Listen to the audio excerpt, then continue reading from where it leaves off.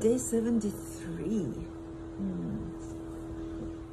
So much is happening. Honestly, so much is happening. First of all, to report to those who've been following me. So my left eye with which my rash started is now, I think, pretty done. And now it all moved to my right eye. It's really, really, really interesting for me to notice how uh, as I'm clearing stuff out, um, it's it's all moving on my face and my eyes are just it's always been like the thing for me. And it's about seeing and not wanting to see. And I've lived for so many years in a place where I didn't want to see what I couldn't handle. And now living in truth and you know really trying to be in the present moment and to be here for the life that's unfolding as it's unfolding you know my eyes are, are expressing all the you know from from what Helis um oh I forget her um, uh, her handle on Instagram but what Tracy has taught me about um, the healing point she said that, you know, any kind of a rash, it's anger, it's unexpressed feelings. And what's interesting is that the left eye is the feminine side and the right eye is the masculine. And um, so, to, so uh, when it started in May and June, July, I was working through a lot of um, things about like the feminine side in my family, my mom, my sister, like there was all this stuff coming up and now it's really interesting uh, that I'm working through, you know, via my husband, I'm working through like the masculine side. And of course, like these are the energies that are present in me, but the way we, until we become conscious and until we integrate these energies within, we're playing them out through our external relationships. So for example, ultimately, my relationship with my husband and all the like unexpressed anger and all the demands and all the unsatisfied uh, know uh, needs it's my own inner man who's not stepping up yet. And you know and i've been working on this for years consciously since 2020 but obviously way before that. Um, so it's interesting it's interesting you know that it's it's now and it's now like the the top the top is almost cleared so it's all in the bottom now anyway it's just you know body is magic this life is magic and um and also you know i had a session with one of my mentors last night with whom i work a lot on shadow and um there was something, and that's why we need other people, you know, to, to help us with our blind spots. There was something that I said in regards to my marriage, and she was like, that's a, you know, that's a, there was a little shadow there, and she like took me, so I don't even know how it happened, but there was something that happened, and we weren't, we're not even on, on video, we're just on voice. There's something that happened, and my body was just flooded, flooded with so much feeling. I mean, I was just like washed over with this like incredible feeling of like love and expansion and open-heartedness and just um,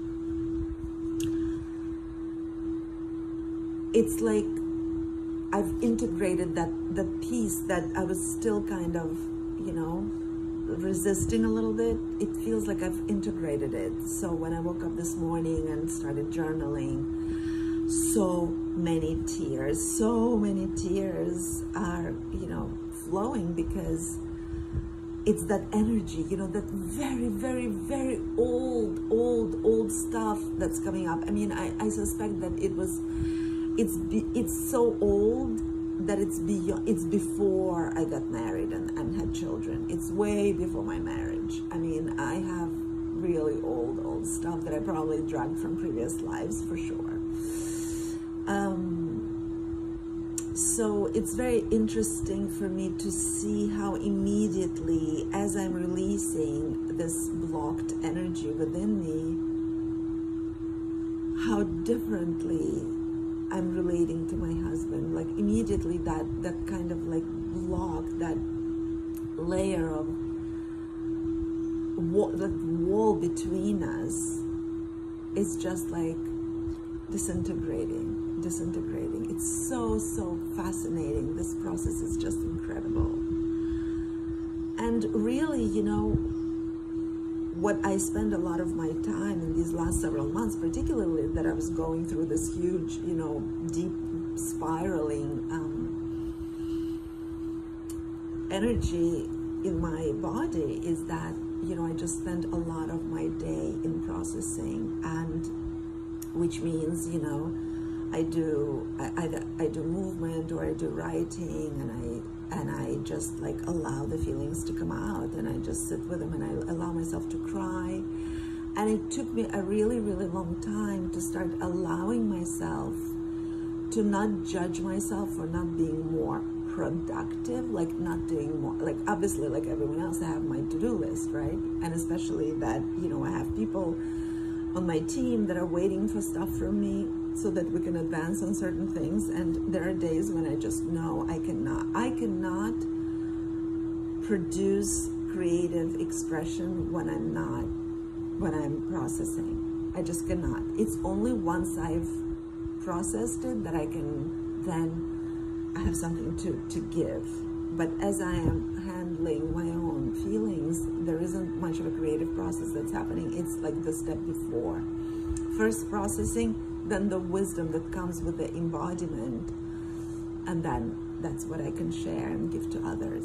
So it's really, really interesting to observe that process as well and the whole deconditioning that had I've gone through where I started allowing myself to spend days reclining or spend days in just journaling or spend days in just not being able to do work or produce stuff and just allowing myself to be because arguably this is the most important work.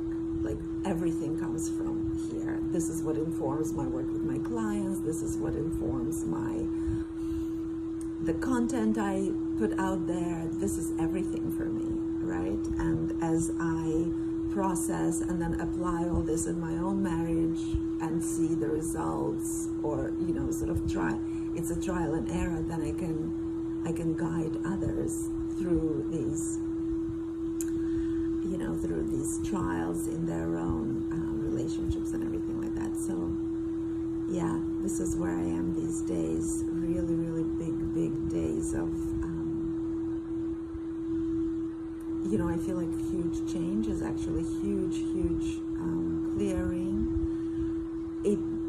feel quite as scary as it did in April, May, June, even July.